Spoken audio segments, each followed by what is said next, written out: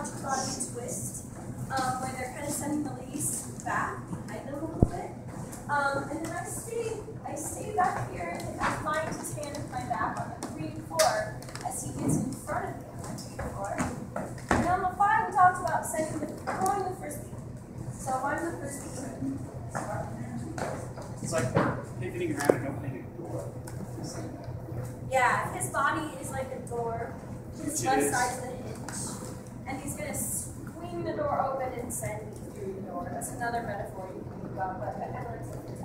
But, uh, uh, so that's what we started with. This is a swing out from toes, straight four, five, on six, he heads back to where he started from as I continue moving this direction.